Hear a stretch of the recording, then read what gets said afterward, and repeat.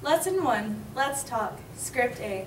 Mandy and Jill are at an after school art class. They're busy painting at the same table. It is very quiet in the room. Jill is trying to think of something to start her conversation with Mandy. So. Mandy looks over at Jill and nods her head. So.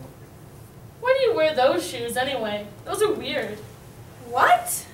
I'm sorry. I didn't mean that. Mandy looks sad. She gathers her materials and moves away from Jill.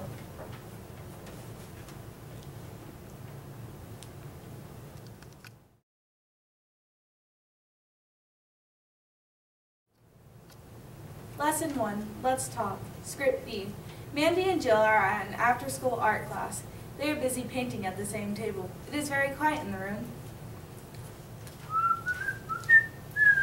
Jill is trying to think of something to start the conversation with Mandy. So. Mandy looks over at Jill and nods her head. So.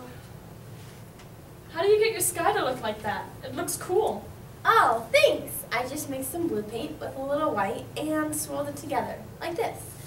Oh, alright. I'll try it. Your painting looks nice too. I like how you added the animals. Mandy and Jill talk quietly as they continue their art project.